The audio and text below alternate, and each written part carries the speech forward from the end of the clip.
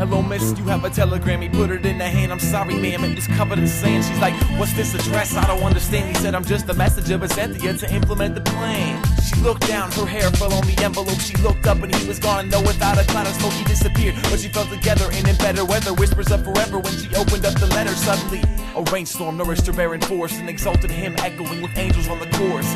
She saw the stone before it moved from the cave, and as she walked on water, she was hit by a wave. It was nine pages of scripts and fonts soaked in salt water. Like she put her ear to the con. She left her door unlocked, left the mailbox open, and inside was a letter she addressed to the ocean.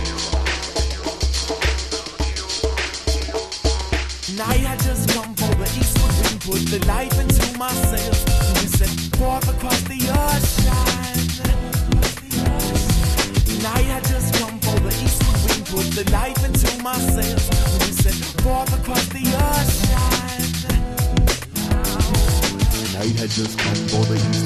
Put the light into my sails. Have no fear, you have a message, dear. Said the holy cavalier, the is humble, horse into the atmosphere. She knew the forces of what happened here were rather clear and looked into herself as it reflected on a mirror. She began an out of body existential odyssey, knowing she wasn't properly prepared. Depending on theology, astronomy, and oceanography, and hoping that the eastern winds would take her there. But now she knows we all have riparian souls. We're drawn to the light force, some call it a fishbowl. She reached for the water and she picked up a fistful. When she opened up her hand, what she found was a crystal in the prisons were visions from life from the beginning in the world on which you'll be living.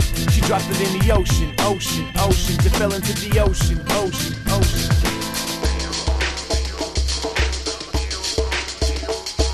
Night had just come the eastward wind, put the life into my sails. And we set forth across the ocean.